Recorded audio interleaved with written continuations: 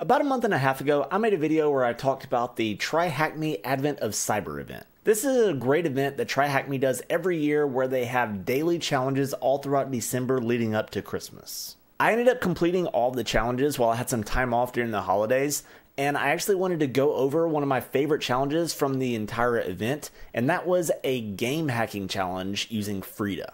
I've used Frida a ton when working with mobile applications, and I've made a bunch of videos about that in the past, but I've never actually used Frida that much when working with other types of programs other than mobile apps. And I've also never really looked into game hacking much before either. So this was a kind of new sort of area that I haven't looked into much, but it was also using a tool that I have used a lot. So I thought it was a pretty cool challenge. So for this video, we're going to be looking at task 25, which is the challenge from day 19.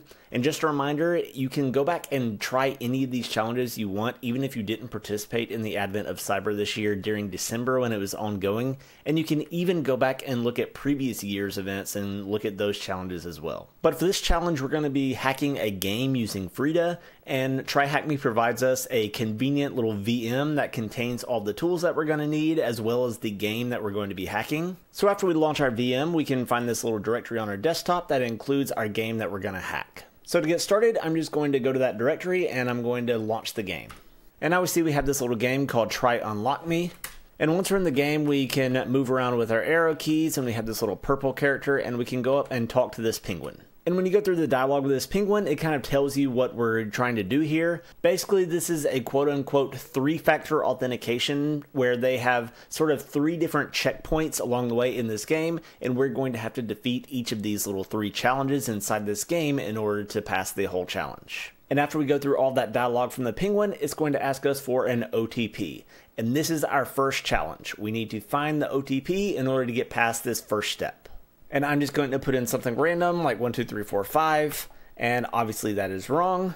So we failed this check and we need to find another way to figure out what the pin is. So if we look back at the Try Hack Me page, we see that it actually tells us sort of a hint to get us started. It tells us that we need to look at the libaocgame.so library and in the real world, when we were working with a real program, we would probably have to do some uh, sort of reverse engineering, maybe with Ghidra or some sort of tool like that, in order to find that library that we need to work with. But this kind of just gives us a little bit of a head start so we can go ahead and get started with Frida. So this time we're going to launch the game again, but this time we're using Frida Trace in order to trace all the functions in that libaocgame library.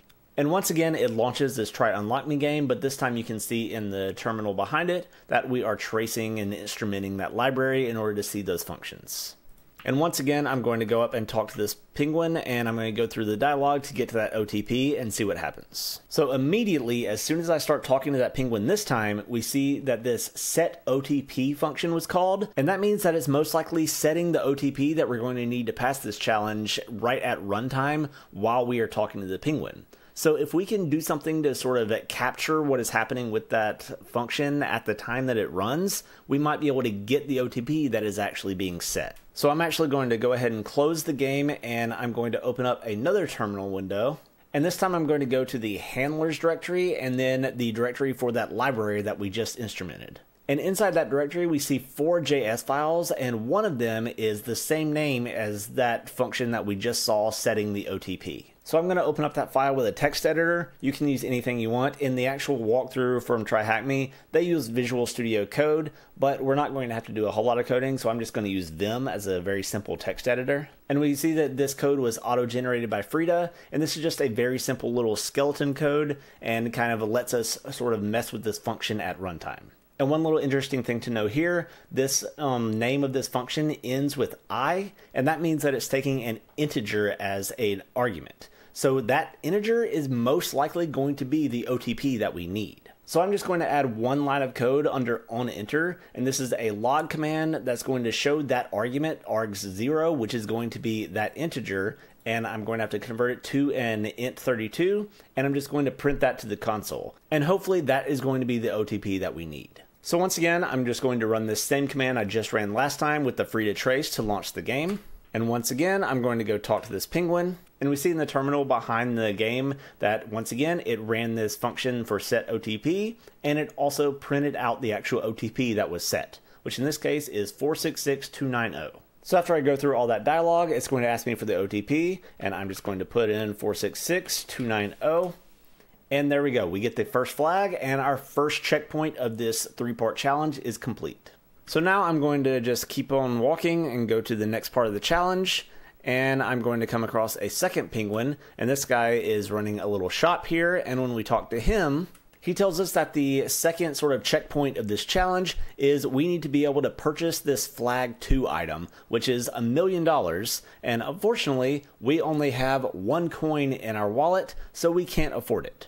But we can go ahead and try anyway and say ID 3, hit enter, checking your credit card.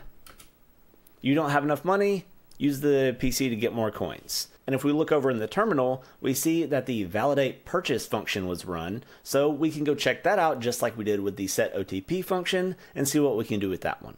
So once again, I'm just going to use Vim to open up that library under the handlers directory for validate purchase. And you'll notice that there are three i's at the end of this function name, so that means that there are three integer arguments for this function. So let's print out all three of these arguments and see what it's actually doing, and maybe we can figure out what all three of these things actually mean. So very similar to what I did in the last example, I just added three log statements, taking all three of those arguments, converting it to an int32, and printing it to the console. And once again, I went to the shop and tried to buy that item, and you see that it printed out three numbers here. Three, which was the ID for that flag, 1 million, which was the price of that flag, and 1, which was the amount of coins that I have in my wallet right now. And we're failing this check because we don't have enough money in our wallet. So we need to be able to either give ourselves more money or we need to change the price of the item we're buying in order so we have enough money in our wallet to buy it. And there are many different ways you could go about solving this challenge. The way that they give in the walkthrough from TryHackMe is they take the argument one, which was the price for that item you're trying to buy, and they set it to pointer zero, which is making it essentially a zero dollar price, meaning you can afford it. I'm going to go about it a slightly different way, but again, there are many different ways you can accomplish this. I'm just going to take args1, which again is the price of that item you're trying to buy, and I'm just going to set it equal to whatever the value is in args2, which was the amount of coins you have in your wallet. So however much money you have, that is now the price of the thing you're trying to buy. So once again, I'm going to talk to that penguin. I'm going to go to the shop and try to buy flag 2, ID 3, and I'm going to hit enter. And it worked because it thinks that I had the exact right amount of money in my wallet to buy the thing I'm trying to buy, and we get the second flag. So now we've got two of the checkpoints done. We just need to get one more complete, and then we will have completed the entire challenge. And if we keep walking, we run into a third penguin, and when we talk to him, he tells us one more factor to overcome to fully become Mayor Malware. And when we go through that dialogue, we go through what they call a biometrics check, and it doesn't really matter what the whole background of how that actually works. All you need to really know is that there is this function called check biometrics that is running, and we are failing this check. So we need to figure out either how we're going to change how this function works or just change the result. So once again, going back to our handlers directory, I'm going to look at the check biometrics function. And you'll notice this one does not have any i's at the end. That means it is not dealing with integers. Now it is dealing with strings, which are a bit more difficult to deal with. But maybe we don't even need to deal with that. We might not have to deal with on enter this time. Maybe this time we can take a look at on leave and see if we can do something to mess with it when it's actually completed its work instead of doing something when it's actually being generated. So this time I'm just going to add a log statement to the onLeave function and I want it to show me what the return value is. So hopefully this is going to tell me what it's doing when it actually evaluates my biometrics and it actually is sending the result. I want to see what that result looks like. So once again, I go back to the game, talk to the penguin, go through its dialog. So this time it ran that check biometrics function again, but it also printed out 0x0. So that means that it's doing some sort of work on a biometrics check and then it's printing out zero. So whenever it evaluated our biometrics, it decided zero was its response and we can sort of deduce that that zero means false. And it's probably just doing a true or false check. So if we can sort of capture that value that it's returning and flip it from false to true, then we may be able to pass this biometrics check. So once again, we go back to our script and uh, after we log that return value, we want to actually change that return value as well. So I just added one more line in the onLeave function where I took the return value and replaced it with a pointer to 1. So because it was 0, which is false, I'm going to change that to 1, which is true. And now let's run it again and see what happens. Once again, I go through the dialog with the penguin. This time, it still printed out the 0x0 because we still had that log function in there, but after it logged it, it actually changed it, so it actually is going to say that we passed the check. And you can see in the dialog that the penguin is kind of confused because we didn't actually do anything to pass the biometrics check. All we did was capture that incorrect response that said false and flip it to true, and now all of a sudden we passed the biometric check. And now because we passed that biometrics check, we have the third flag and we have solved the entire challenge.